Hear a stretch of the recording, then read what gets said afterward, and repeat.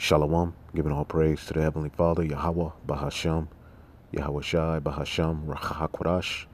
Double honors to the apostles and the elders of Great Millstone who rule well. And as always, we give peace and salutations unto the elect. And I just wanted to do a quick video, you know, dealing with, you know, uh, being at peace, you know, with prophecy. Because um, a lot of times, you know, the negative things that we see happening around us, to us, you know, in the world. You know, sometimes, you know, it can get the best of you. And it's only right that, you know, you're vexed with the filthy conversation of the wicked.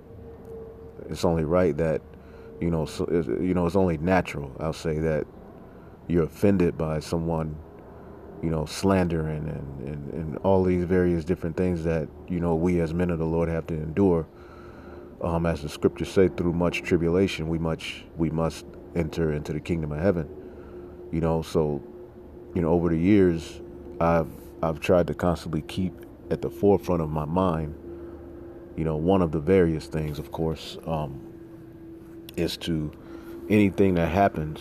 You know, a way to find peace is just link it to prophecy. You know, as uh, I believe it's the Book of Wisdom of Solomon states.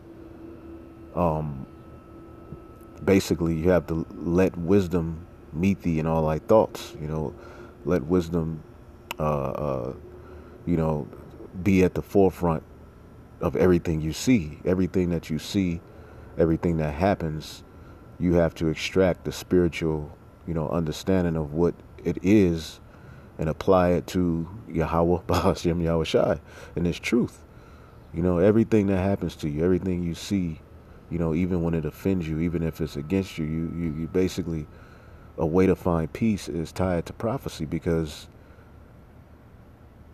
offense is one thing, you know, but, you know, being consumed by that offense, all right, is, is what can happen, you know, if you allow others who were made to be in their lots, you know, created to be in their particular lots, when you you know now we we argue the doctrine you know but there's particular things that men are going to do that are going to make us look bad.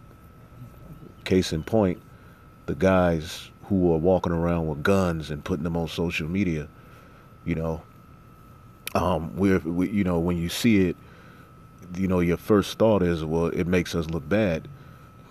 Well it makes you know uh, uh, it, it it makes them look bad because we're not of that. We don't teach that uh, uh, or, or, promote that behavior because we understand, you know, the ramifications of such actions, all right, and what they can lead to, uh, especially in these times. So we want to stick, you know, ultimately uh, uh, to, you know, the, the, the spirit, all right, be nourished by the spirit, be, you know, emboldened in the spirit, okay, the Lord's will, okay, because you're going to have to have men that do these things, you know? And if you don't understand that, you know, you can kind of drive yourself crazy because you got to think, just like you got like Sonetter questioning the Most High, you know, what about this? How does he do this? What, what about that? That, this. He always has a question, you know, questioning the Most High's will and why he does particular things and how, you know, and you, and, and you on the earth, you can't even figure out how a simple, you know, a sperm cell can be nourished by an egg and bones grow a heart and a whole per you can't fathom that. You don't understand the most high. You don't even understand the things that are right in front of your face. but you're going to try to calculate eternity. Okay? But but even them you know, they when you really listen to them, they have a problem with the will of the Lord, you know. And we can't be offended at the will of the Lord, man. You know, we have to uh, ultimately find peace in everything that's happening around us and just ride the wave because we're going to be numbered amongst the transgressors, man. These guys ain't going to stop. This is a scripture I have here. I have two actually. This is uh, Ecclesiastes 1 and 15. That which is crooked cannot be made straight and that which is wanting cannot be numbered. And these, the, you have particular Jake that are wanting. They don't, they don't have the spirit. You know, they're they're carnal men. Okay, and, and that's okay. You know, that's their lot. That's what they were appointed to. Because there are going to be race wars. Okay, we can't stop that from happening. All we can do is offer up the sacrifice that we are uh, uh, to offer up and hope that it's accepted because it's no way out at this point. You know, the, the heathen are ultimately going to have their narrative. Okay, and they're going to run with their narrative. And that's okay because that's how it's supposed to be. That's prophecy. Them having a narrative is prophecy. You see what I'm saying? We cannot uh, uh, uh, uh want, we cannot, uh, that which is wanted cannot be numbered. All right, Ecclesiastes 7 and 13. Consider the work of God, for who can make that straight which he have made crooked. All right, so there's particular things that are to irk you like vocab Malone. He irks you. He pisses you off. Even his look, his his smile. You know how wacky he is. But at the end of the day, if he's not there, then you know we we have to be proved. We have to go through tribulation. We have to have people to slander our name and say the damnedest things about you, man. Like people who who literally are injurious in their uh, in their intent. Like they want you hurt. They want to harm you. They want to say the most harmful thing and do the most harmful thing to you because of some offense that they may have. And these men are going to rise, man, and they're going to do shit. It's going to hurt your feelings. They go personal information, stuff that y'all said, and you know, confident. These men, you know, they'll, you know, but these things must happen. These things must happen. So when it happens, yes, you have the natural feeling of, uh, damn, you know. Or or you, you feel you want to defend yourself, but at the end of the day, it has to happen. Prophecy has to be fulfilled. So everything that happens, what you do is you find a way to tie it to prophecy. Okay, even when you are judged by the Most High, you know, ask the Lord, what is He trying to tell you?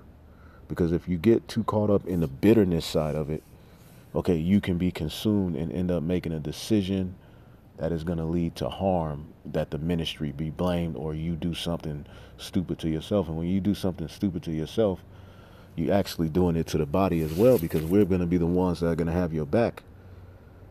You know, if if if if you know if it's uh, not something too goddamn crazy, you know, but you know you have to uh, ultimately be at peace, you know, with the Lord's will.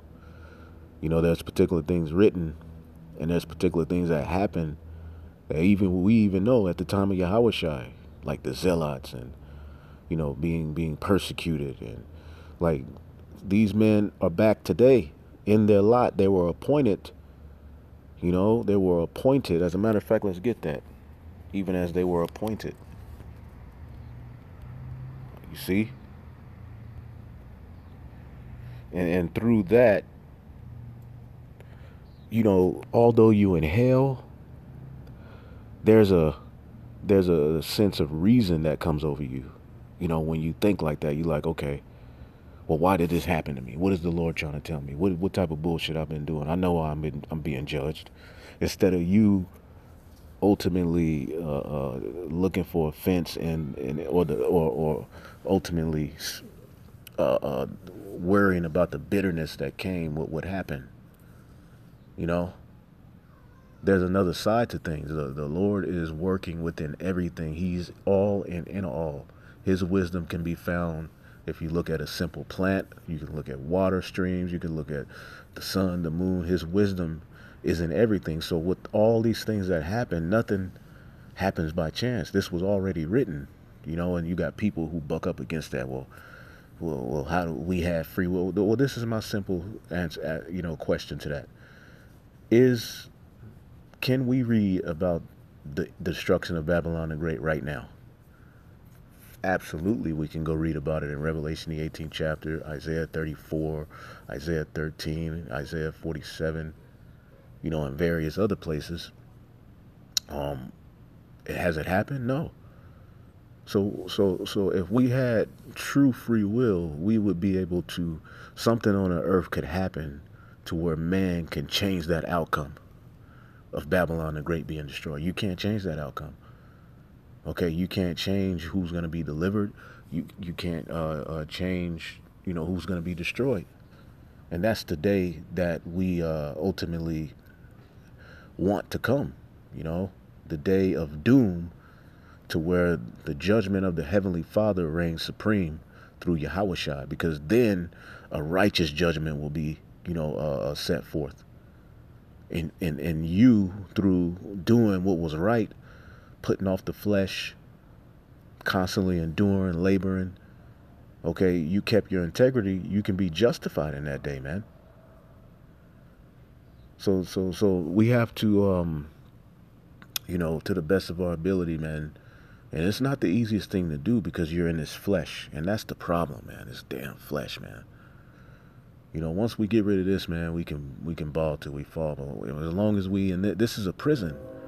You know, this flesh is an actual prison, man. You know, and that's actually a lesson that I wanted to do. You know, it's like, man, we literally, man, whew, uh, this this this flesh is a damn prison, man, and we're in a prison planet.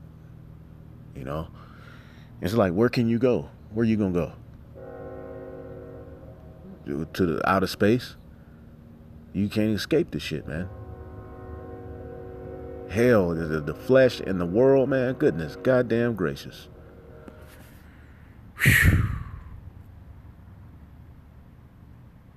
This is uh First Peter's two and eight, speaking of Yahushua and a stone of stumbling and a rock of offense, even to them that stumble at the word, being disobedient Okay, whereunto also they were appointed. So they were appointed to be disobedient and be against the word, to be against the men of the Lord, to try their damnness to tear down the house of David, man.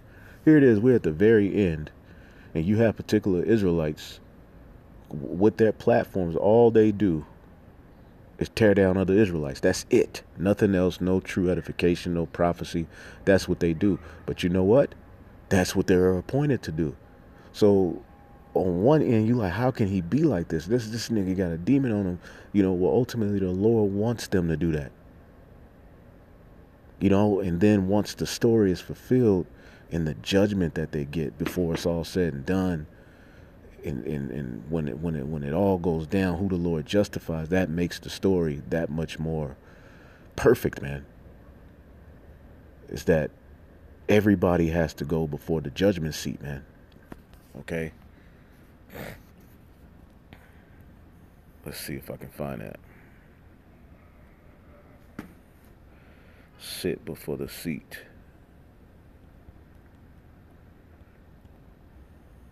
For we must all. I believe it's in First Corinthians. Yep, First, Second Corinthians chapter five and ten, and uh, and 10, 5, 2 Corinthians 5 and 10, for we must all appear before the judgment seat of Hamashiach.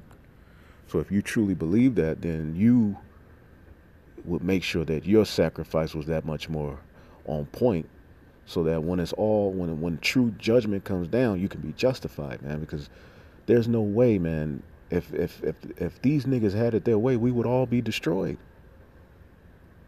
You know, first of all, you the, the the art of war okay is not to be tacky man and don't show off first of all if you you know but you guys but you know what? The lord put the spirit on them to do that. So i have to you know what? I have to say you know what? Eh, oh well you know you correct them a few times but there comes a point where you have to say well that's what they were appointed to do. They're not going to stop. Just be at peace with the Lord's prophecy and you move on and focus on your sacrifice. And then, you know, when, when it's all said and done, and, you know, because they're going to try to put us all in one box. So the Lord is, oh, he's going to have to intervene, man. You got to hold the Lord to, to his promise, but you got to do your job. But he promised. What did he say, man? I'm going to lift up a standard, man. You know, some of you not going to taste death. You know, like like so You just have to work towards that. Man. However it happened, it, you know, but it's going to be miraculous, man, and it's going to be scarce. You know, we're going to be in some messed up situations, and even that is prophecy. So you can't get offended at prophecy. It says, For we must all appear before the judgment seat of Hamashiach, that everyone may receive the things done in his body according to that he have done, whether it be good or bad. So everybody is going to be judged. There, you you never get away.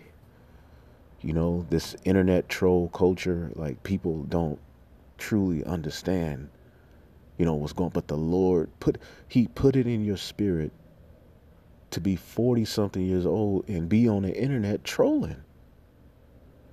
Now you know that's a demon on you, man. You ought to be ashamed of yourself, making fake profiles and pestering people, following people around the internet, putting, you know, making videos, putting brothers personal, you know, like like like that. But hey, that's a lot. That's some something that is very, you know, as much as it hurts, it's it's a it's a necessary evil. Like vocab, he's a necessary evil, you know, and they help to solidify you being the elect you know, because you can't just be the elect and nothing justifies you being the elect. Nothing happens to so that the Lord can justify you. No, you got to go through things. You got to be offended. You know, you're going to, and these things are going to happen. All right. But the bitterness cannot overcome us. Let's get that. Let's get that.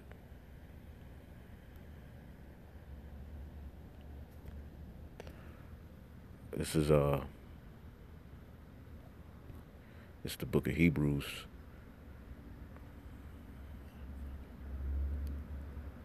Twelve and fourteen. Follow peace with all men and holiness. Without such no man shall see the Lord. see that? Follow peace, man. Don't be looking, waking up looking for strife, man. Waking up, you know, listening to trap music and shit loud as hell you know, looking for somebody's life to ruin in Israel, man. Looking for fault, man. Don't be that guy. All day, nigga, shit, just go do something else, man. But see, a lot of people aren't comfortable in their own skin. And they know that they got demons on, so what they do is they uh they uh spend their time always pointing the finger so that they can feel justified in the bullshit that they're doing. And you got people who like all around America, man. Like these people, the people who who who know the truth, but a, lot of these people who don't know the truth, they that's just what they do. That's what Esau does. You know, he basically creates a, a narrative and pushes it and ju- uses it to justify, you know, sh- destroying you because he he's the devil. So he has to put deception out there. He has to do too much. you know, and, and, and to try to get a victory, man. This, oh boy. But this is uh, Hebrews 12 and 15. Looking diligently, lest any man fail of the grace of God, lest any root of bitterness springing up trouble you, and thereby many be defiled. So bitterness is going to come. But if it, if it, if it, you know, troubles you, to the point where you overcome by the flesh because you got to look at these guys who you know um, used to be in the truth you know a lot of them fell out after they got rebuked you know they couldn't take correction you know uh, you know they were offended at prophecy you know when it came time for the lord to move on them to you know correct them through his men so that they can be you know restored they couldn't take it. They were offended by prophecy. They were offended by the will of the Lord. You see, and when you do that, you lose because you'll never win that game.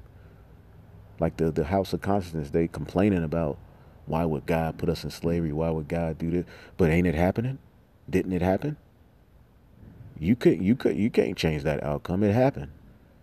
So you're still subject to the will either way it goes. Whether you accept it or not, we went into captivity, man. You know, Esau, Edom is, is ruling over us. We're in the belly of the beast, whether you like the will of the Most High or not. you know. So you can't allow bitterness to overcome your spirit, man.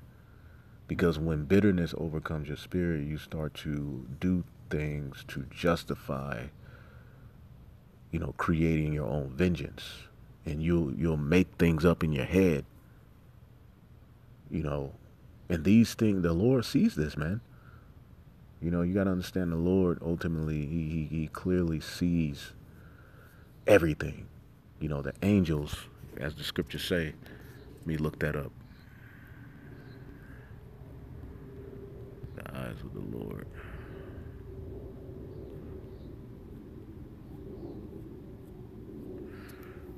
It's um it's coming up.